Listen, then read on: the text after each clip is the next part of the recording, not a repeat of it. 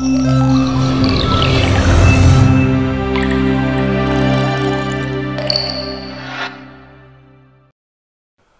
a face The realms of day and night, son's, Two different timeless, words coming from two opposite poles and full of mingled during this time.